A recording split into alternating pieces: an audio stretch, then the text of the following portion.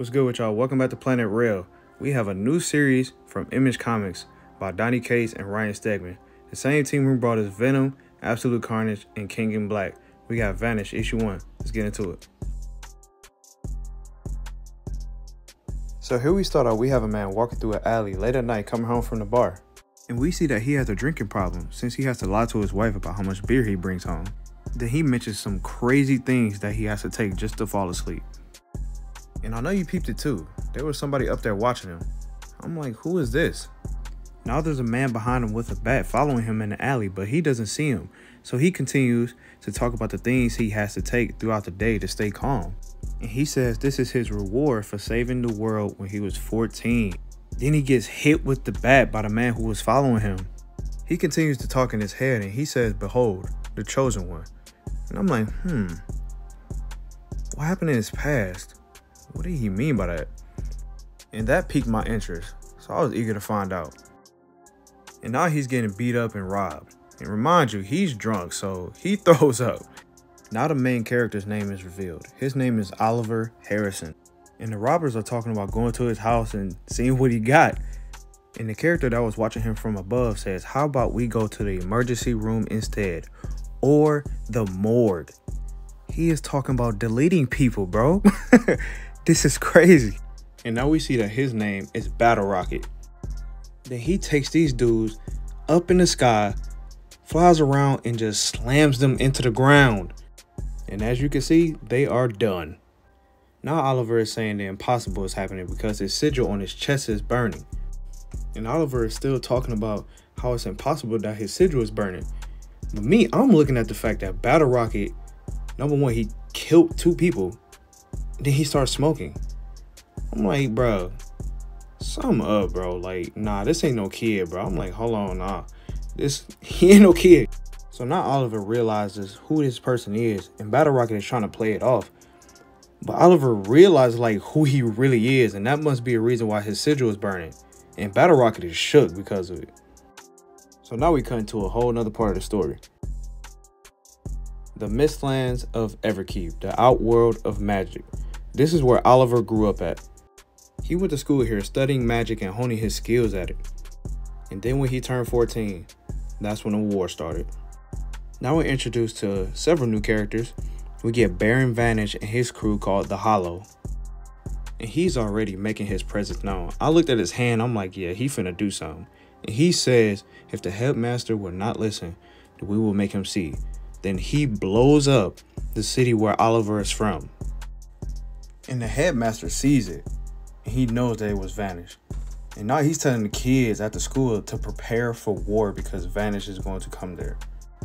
Now the headmaster says, while other kids were learning math and history, they was being branded with the house sigil.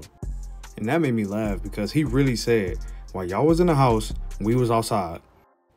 So now we see the headmaster preparing them for this war. And we see that Oliver is not there because he asked for him. And with Oliver's narration of what's going on, he tells us that even if the kids step out of line, there were a lot of punishments. And if they broke one of the sacred ancient laws, there was instant, immediate death. Oliver broke two ancient laws that day. And to sum up one of the rules that Oliver broke, students cannot go in this room called the Dark Arcana, and they can't use anything in there. But Oliver does not care, because when Vanish exploded that city, his parents died with it. So as he searches the room, he grabs this thing called the Oraculum, and you can see the future with it. And he knew he had to do something because he is the chosen one. And when he had his vision, he saw Vanish ruling the world. And at that moment, he knew what he had to do. So now Vanish and the Hollow show up to the school. And we see that Vanish used to be a student there. And the headmaster blames himself because Vanish used to be under his wing. And he said that he should have been a better teacher to Vanish.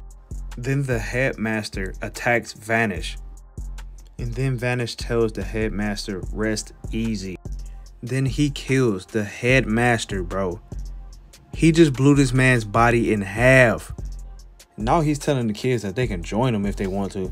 And this girl, Eleanor, steps up to him and uses her magic against him and tells him just to shut up and leave.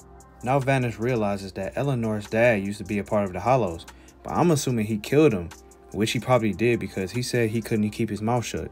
So now Vanish yanks up Eleanor, and at the same time, we see the second rule that Oliver broke. And it says that no student can enter the world of citizenry without express supervision. Now someone yells to let her go, and Vanish is like, Who is you? And we see that it's Oliver, and he says that he's going to be the last person that Vanish will see. And it also says that you will receive the punishment of death if you break Rule 2. And now we got Vanish saying that no magic in the world can hurt him. Now Oliver pulls out the Blake and he shoots Vanish in the head. And now Oliver is saying that day he was supposed to die because that was his destiny.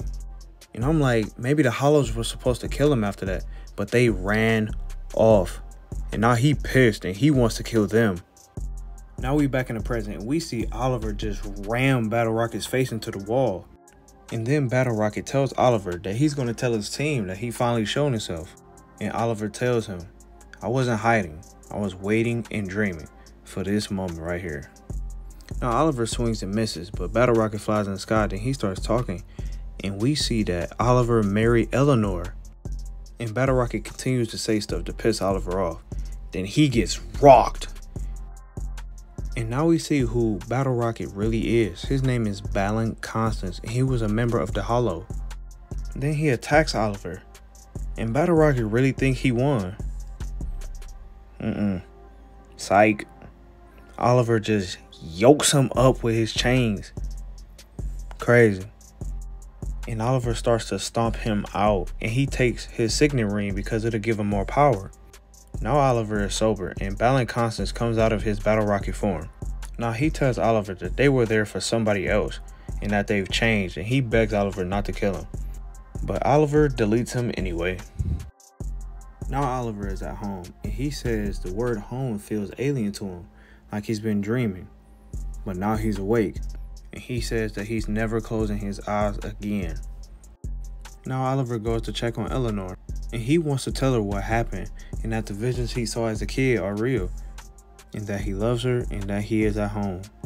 But he says he can't. Not until the mission is done, and then he uses his magic to call for his cloak. He's kept it down there hidden for years, saying it's like his own dark arcana, and he said he would never use it unless he needed to end the world. Now Oliver is getting his suit and stuff together, and he's thinking back on a time where Auron, the headmaster, used to talk highly of him and say that he was destined for great things, that he was the chosen one, and that he would always vanquish evil, no matter what form or shape it takes. And Oliver says the Hollow are back. They've taken a new form and they're pretending to be superheroes.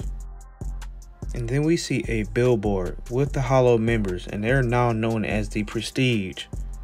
And since the Hollow want to be superheroes now, Oliver says that it's his turn to be the bad guy. So that was Vanish issue one. Let me know what y'all think in the comments. Like and subscribe. I appreciate y'all for coming through and watching though.